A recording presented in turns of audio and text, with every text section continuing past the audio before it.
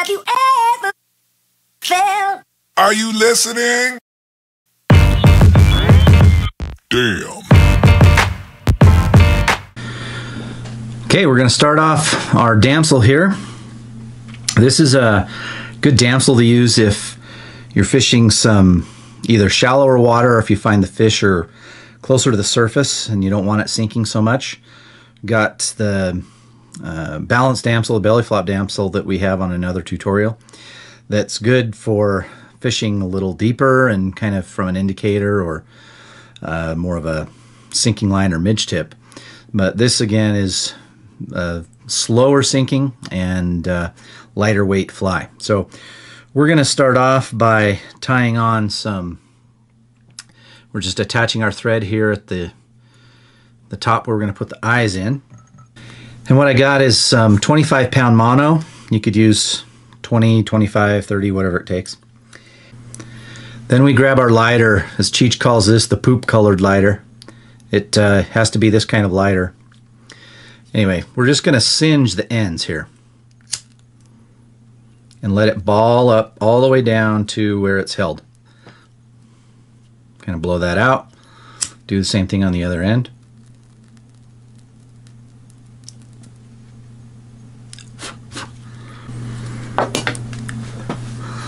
Okay, so you burn them right up to where you have them in the pliers here, little forceps or hemostats, like so. And now I'm going to color them with a red Sharpie. You could use red or orange. Okay, you got them colored up like that a little bit. Now I'm going to attach them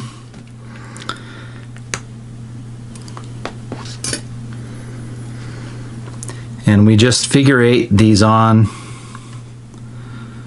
Right where the eyes go up there like so.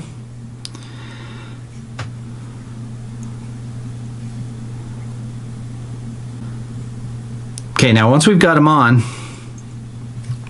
I like to both uh, give a little bit more protection on the color. So I'm going to seal that in with some fluorescing UV clear fly finish and uh, you don't need a ton on here. The eyes are already big enough.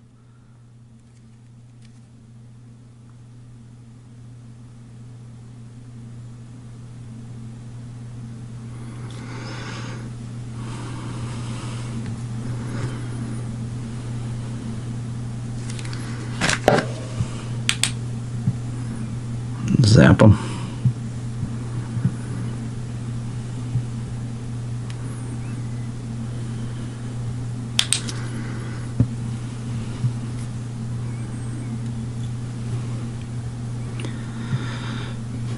Okay, now those will stay on there really nice.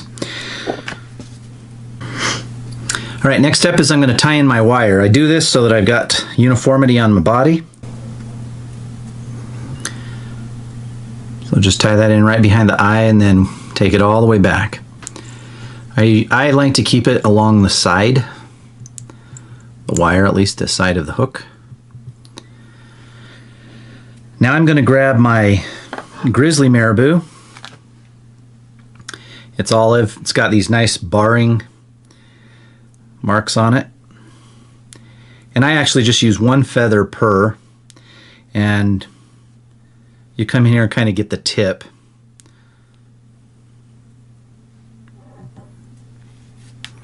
Now because I like to keep these bodies really slender, I'm not going to do the trick where I tie this in all the way up the body. So I'm just going to tie it in about three quarters or half the body length.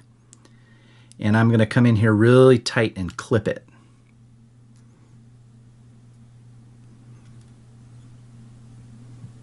So kind of like that. And then just with some sharp scissors, right as close as I can to the base and clip that off. Luckily this isn't too bulky, so it's going to be relatively easy to wrap over that and not create a huge bump. Okay, Next, we're going to go in with our pheasant tails. So obviously, you want this to match your naturals. This is an olive dyed center pheasant. So I'm going to grab five to six fibers.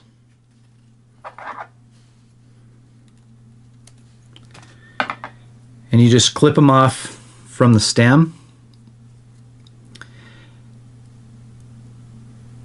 And then I like to line up the tips like that, and those actually ended up being pretty lined up. And I'll grab them with my thread and then just kind of slowly move them back so that only the tips are going to be protruding there. Again, I don't want a big lump of materials back here. And just conserve my thread wraps. Lost one, so I'll tie him back in there. And now I'm going to advance the thread and just cover up the body there. Again, keeping it nice and slender, like so. Okay, now this is a uh, same technique that you'll see with pheasant tails where you're counter wrapping. I like to counter wrap the pheasant because it's easier to tie off as opposed to the wire. So the pheasant tails, we're going to grab these and we're going to, with the rotary feature, go forward.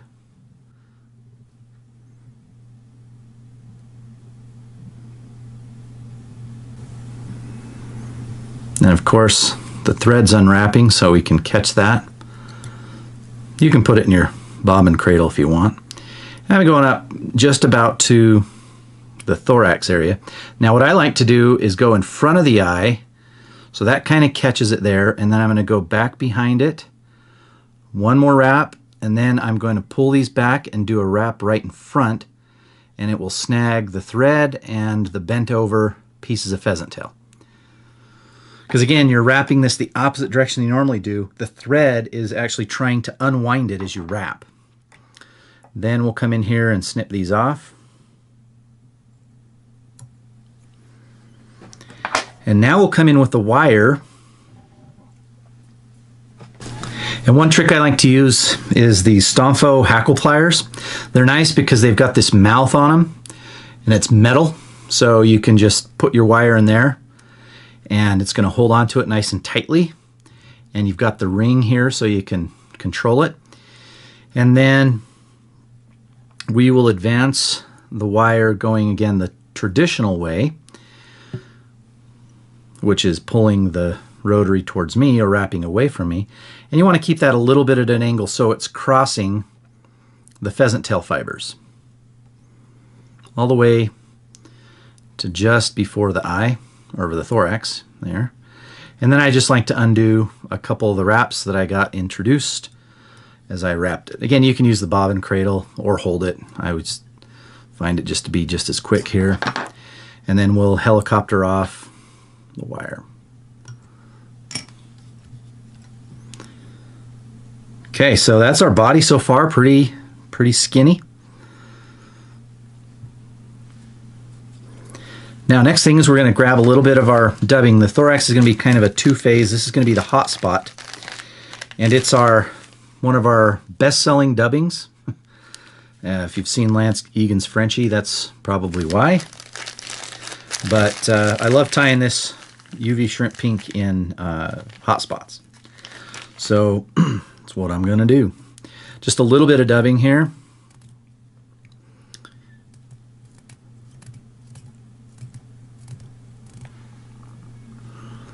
That's actually too much, but we'll work around it. Yeah, that's all right. All right, now I'm going to grab my thin skin, and this is just olive. And you can you can kind of mix that up again just to match your naturals. And I, I like to measure this so that it's, I'm going to cut it to be just enough to span the, the eyes there in between. Now I'm going to place this right on the kind of the middle of this UV shrimp pink because again I got more than enough. So it's just tied in there like that. Then I'm going to add in a little bit of our pheasant tail color Ice Dub. Little tiny bit because we're going to do this in two parts.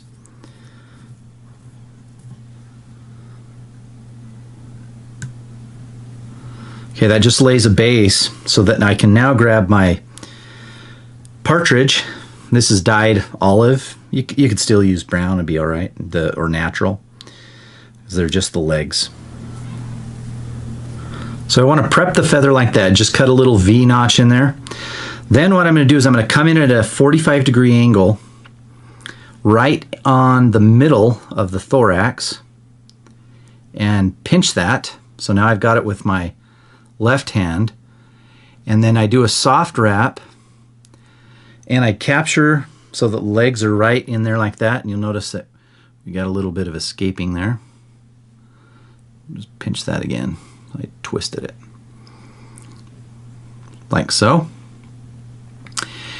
And then if you need to, you can adjust the length at this point, but that's about what I want, so I don't need to do any adjusting. Now I'm going to pull that down a little tighter, a couple of wraps, and then just trim this off.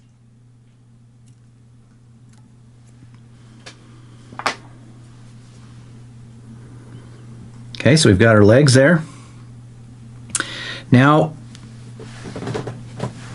again, just a small amount of the pheasant tail dubbing to round off the thorax and into the head. Kind of figure eight that.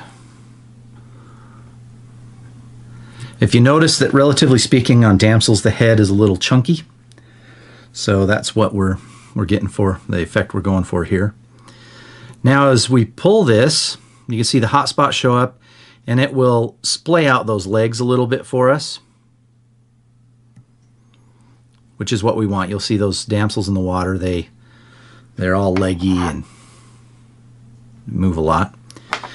And so stretch out this thin skin and then just grab a wrap on top there, a couple of tight ones, and then I'm going to come in behind that and that gives us a good tie off point and I can stretch this come in here and just very carefully trim. And this is where having sharp scissors helps.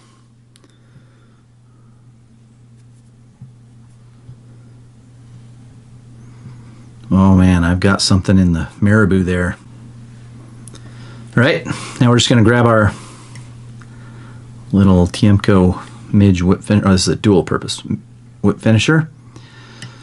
And one final thing here we're going to do to give this a little bit more strength, trim this off. We're going to come in and give it another shot of our UV clear, fluorescing UV clear. And that's just right over the wing case. And I like to tag the thread too, to strengthen that. And you can even kind of bridge the gap where the, the eyes are.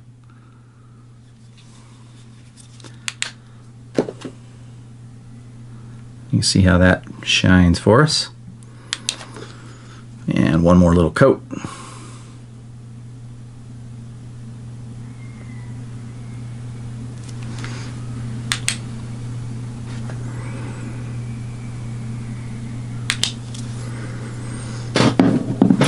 All right, there we are.